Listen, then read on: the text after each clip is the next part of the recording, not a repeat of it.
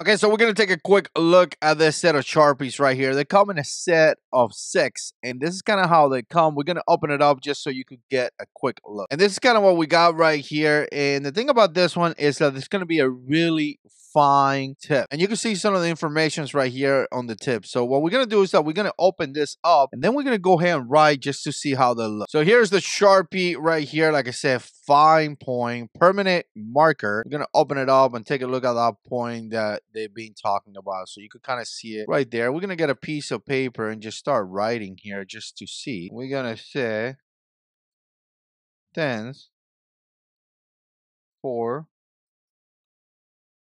washing. Feels good. It actually feels good. My name is Fabian. Doesn't feel like a pencil or anything like that or like a pen, but it doesn't feel like a Sharpie. It feels like you really have control of it. So again, this is kind of how it looks. This is going to be the Sharpies that come in a pack of six. Really fine point. And again, really not that big or anything like that. So you could carry this just like a regular pen. So again, so far I like it.